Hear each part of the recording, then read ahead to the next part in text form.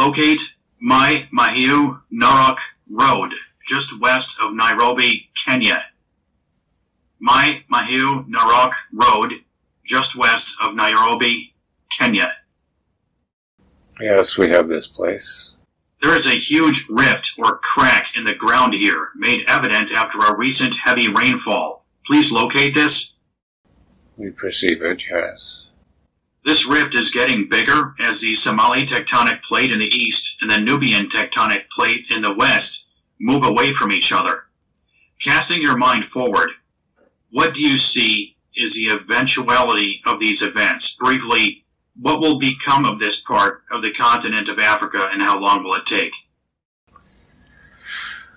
It does seem to continue to separate, and then there is a movement in opposite directions. One moving northeast, so to speak, and the other moving north, southwest rather, although the compass needle might be incorrect here. That of the rift will continue. This will allow this part of the area or continent to begin to sink towards that of the coastline. It will continue to, that to say, this wound in the land or this rift will continue to grow in size and continue to extend itself. This is also to the pressures of water around the African continent, and there will be a submerging of the coastline all around the continent, as if that of the continent itself would shrink. And this part will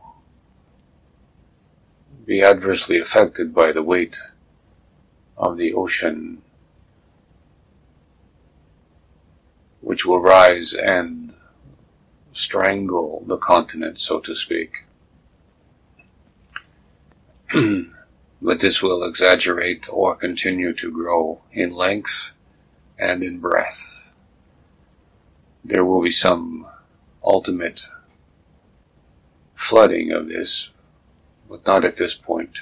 As to time frame, in 2018, it will continue, but the crevasse will accelerate through 2019 and 2020.